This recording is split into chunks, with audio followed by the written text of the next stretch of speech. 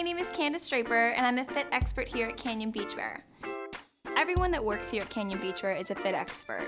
We know everything there is to know about bikinis. It's kind of eat, breathe, sleep bikinis. So we're like the girlfriend that you forgot to bring into the store. We're at www.canyonbeachwear.com. You can find us on Facebook and Twitter as well under Canyon Beachwear. And today we're going to be talking about swimwear. This is exactly how you should wear a tankini. Ashley has on the over the shoulder. This is a Kenneth Cole and it's got the ruching on the sides so she can take it and make it larger if she needs to or bring it down and make it a little less. It's also got the bra strap support so you're not gonna have any kind of pain around your neck. She also has the ruffle detail here in the front which matches the bottoms.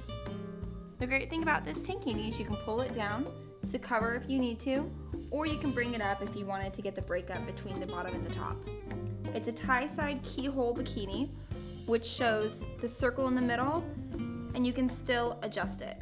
So it can still go smaller or larger if need be.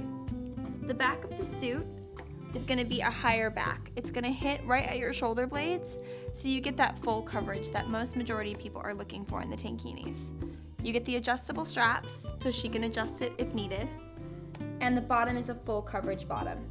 Kenneth Cole does a really good job in making sure the fit is perfect as well as the coverage. On Maria, we have Sunsets, which is one of our signature brands. It has the twist front, which is very flattering for all bust types. It also has a great underwire, which is why we have the support straps here. So you're gonna have the bra strap support, but you can also unhook them and make it a bandeau if you'd like.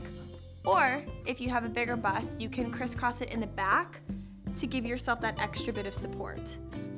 The bottom is a little high-waisted and it's seamless, so it's really nice so this top you can't see it.